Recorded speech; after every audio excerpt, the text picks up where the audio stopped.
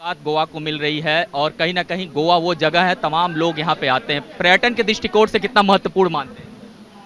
सबसे पहले मैं वंदे भारत ट्रेन का बहुत बहुत स्वागत करता हूँ माननीय मोदी जी का और रेलवे मंत्री अश्विनी वैष्णव जी का, जो भोपाल से इस कार्यक्रम को हरी झंडी दिखा रहे हैं, उनका मैं स्वागत करता हूँ।